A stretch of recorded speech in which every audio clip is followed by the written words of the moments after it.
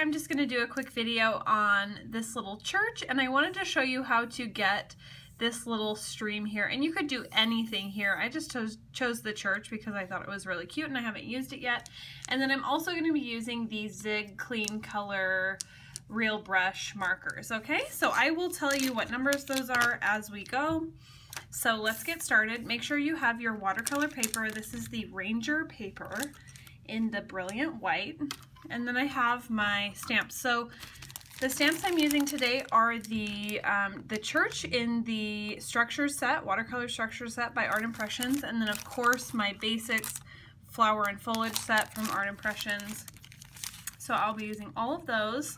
Um, so let's get going. I'm gonna first use the green gray of the Zig markers and just go ahead and ink all of this church stamp.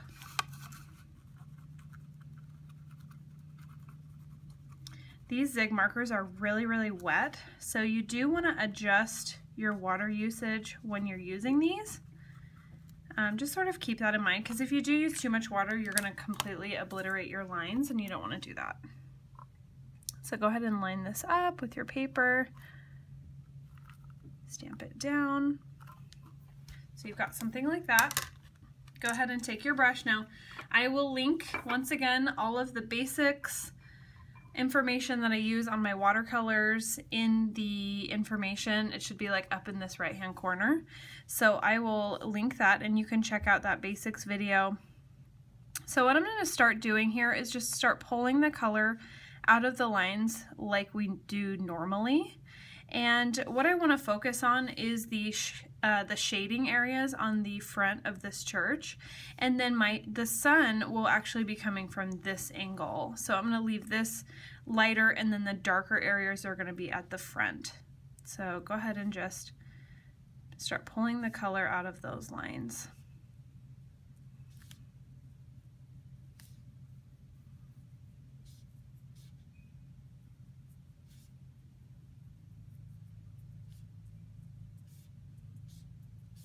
Okay, so I'm actually in a hotel right now traveling and I don't have my palette with me so I'm going to use my Fiskars stamp press as my palette. You can see I have some colors on here already but I'm going to be using now the uh, deep brown in the zig and I'm going to just color that right onto my Fiskars press. Now the palette is obviously superior to the press. It's just when you don't have it, you got to make do with what you have. So I'm going to start pulling the color from the palette or the press into my picture. And I'm just going to start bringing that brown into the roof tops of this. Now I still want to leave some highlights. That's really important. Never color everything in completely. It just will make it look flat. So we'll put this in. And then we'll pull some of this gray out from here. All right, same thing with my blue. This is the deep blue from the Zig, and I'm gonna color this onto my press. And I'm just going to start putting this into the windows and the doorway of my church. And I'm gonna come back in and color layer some more after this dries, but for right now, that's pretty good. So now I'm gonna take my, that same blue, I'm gonna color a little bit more on there, and I'm gonna start my little stream. Okay, so like I said, you could put anything here. You could put a house, you could put um, just some flowers are really pretty. You could do one of the barns. Um, there's a million things you could put there. So you're just gonna do, you're gonna start here and just do a line and then bring it around and back out. So this is not going to stop on um, our paper. So we're gonna make it look like it's just a continual stream. It's just we're getting a glance. This We're just sort of seeing this part of nature. Okay, so we know the stream continues, but we're not gonna see all that. So you're going to come in here and you're going to start widening this now. So that's going to start coming out just like that, okay? So you've got this shape here and it's really thin here because that's far away and as it gets closer it's going to get thicker. All right, so we're going to take more of that water and just start pulling that color in.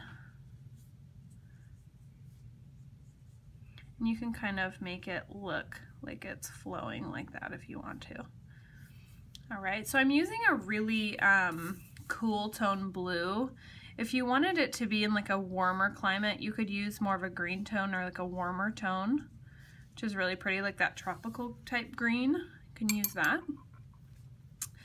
All right, so now we're just gonna continue and you can see I, I left it lighter. So it graduated from dark and then it got lighter. And I did that because I want you to want you to see that it's just gonna continue. We're not gonna have an abrupt stop here of the stream, okay? So now I'm going to put in a green cloud behind my church and that's to make my trees and everything behind look really lush. So I'm using mid green and I'm going to start putting this in just wherever I want um, taller trees. And that's going to give this stream time to dry as well because we're going to add some more stuff into that, but we need it to be dry first. So keep going all around. Now this doesn't need to be perfect. This can be really, really loose. All we want is just a backdrop for our trees. So it doesn't look like a single line of trees, but it looks like a dense um, sort of patch of trees around the, the church. All right, so now I'm gonna use my foliage from the foliage set. So you can see I'm only using that top half, and then I'm gonna use, um, ooh, I don't know what green this is. I've kind of wiped off the, I'll look that up and then I'll put it in the as an annotation in the video so you can see. Um, so I'm just going to color that onto my foliage and you can see I just colored half of that. And I don't need a whole bunch of this, I just need enough to sort of make it look dense. Okay. I'm to keep coming around. Just like that. put a couple more down in here. All right, so it always looks a little bit funky before you add the water, so don't judge your painting until you're finished. Don't critique anything yet because it always comes together at the end. And then when you add the water, it really blends everything out and it looks really good. Okay, so add your water and you can see I'm just dabbing. Remember we want to rest our hands on the, on the table. It's a very ergonomic way of painting, but also we're using the side of the brush. We're transferring more water that way, and then we're saving our brush tip because we're not poking. Poking is a surefire way to get those really annoying bristles that just kind of poke out, and we don't want that. All right, so now I've got some trees in the background. Now that this blue is pretty much dry, we can come back in with our grass. So I'm gonna use the teeny tiny grass, and I'm gonna show you some perspective um, stuff on here too, because Art Impressions has made it really, really simple for you to do this and get the correct perspective. So you have the large grass, and that's for the forefront, so the foreground that's going to be the closest part to you. That's why it's big. And then you have the little teeny tiny grass for the far away, the background. And then the same thing in the flower set. So you've got the daisy bunch, which are going to be close. And then the teeny tiny flowers, which are going to be far away. So they've taken care of all that perspective for you. And it makes it super simple to get depth in your watercolors. Okay, so I'm going to show you how to do that now and I'm going to use that same green that I used for the trees. And I'm going to start just stamping in my teeny tiny grass. Remember we want to walk that grass so we get dark to light variation. And you don't have to do grass all the way across. You can just do it in kind of spurts here. And then I'm going to come into the center, into this area, and put in some grass in here.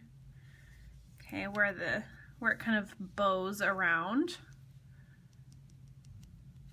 And I want to make a horizon line as well, right where my trees are. And then that kind of makes them look like they're standing up, okay? So I've got a couple there. And then I'm going to take my jumbo grass, so I'm just going to switch stamps here. I'm going to take my jumbo grass, the big one, and I'm going to ink that, and I'm going to put these at the opening where the mouth is. So see, you can already see now this looks like it's like very close to us and those look like they're far away. And then same thing goes in here. I'm just walking that grass. And you can already see that perspective, right? Because Art Impressions has made this really, really simple to use and it makes it look realistic like it's coming towards you. That creek is coming towards you. Okay, so I'm going to take my water now and I'm going to start pulling the grass color out of the lines. Like that. And it's okay if you got some of the grass into the stream, it doesn't matter. Grass also grows in streams, right? Like on the, the edges or the bank. So don't worry about that. And we're going to completely ignore this middle ground in here. So just leave that empty. And then I've got my big grass, the big jumbo grass in here. And this is all to come just like that.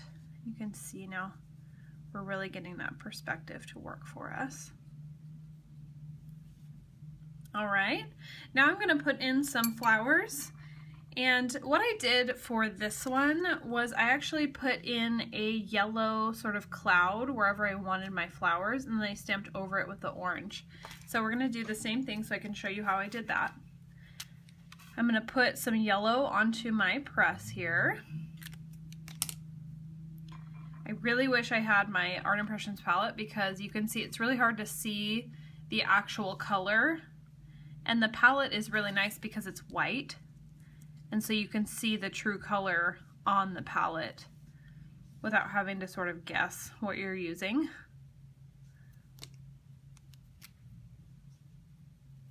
All right.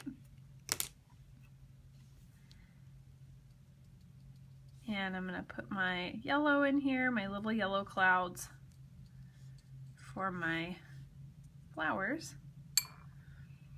Okay, and then once that is drying, I'm gonna come back in to my church here and add some extra shadows. And I'm gonna do that using my deep blue, the same one that I used before on the windows and the door. And I'm gonna come back in with that color and just start putting in some darker shadows in here.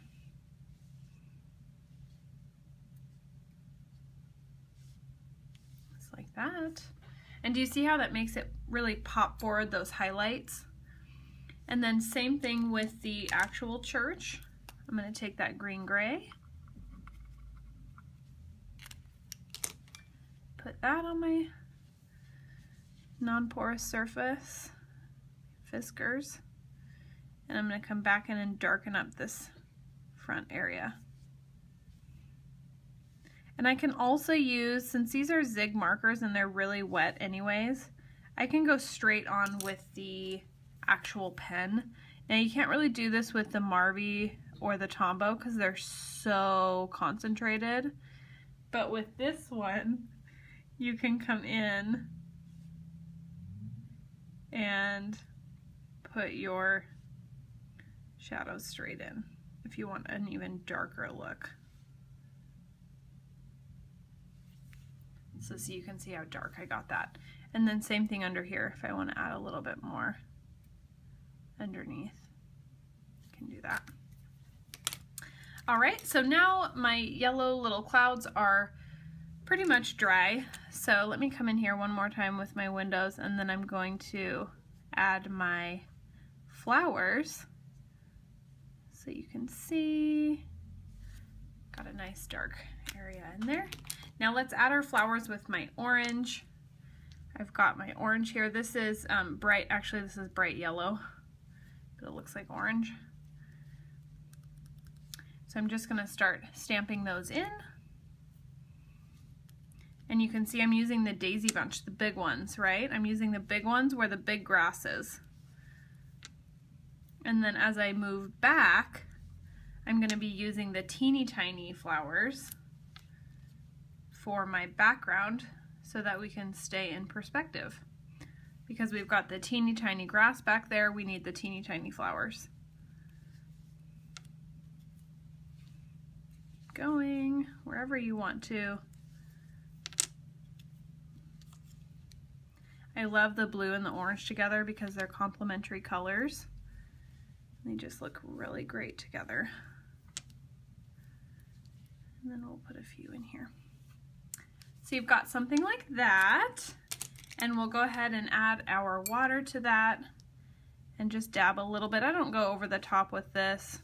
I just sort of lightly bring in some water.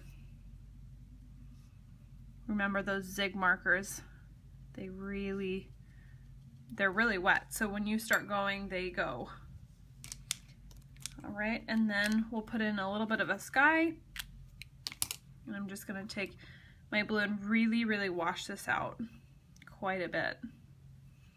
And then I'll come in with just a little bit of a wash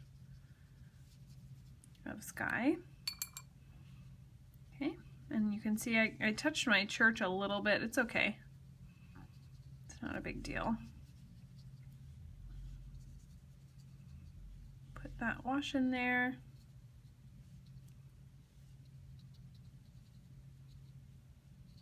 So you can see it makes it look really multi-dimensional. Put that sky in.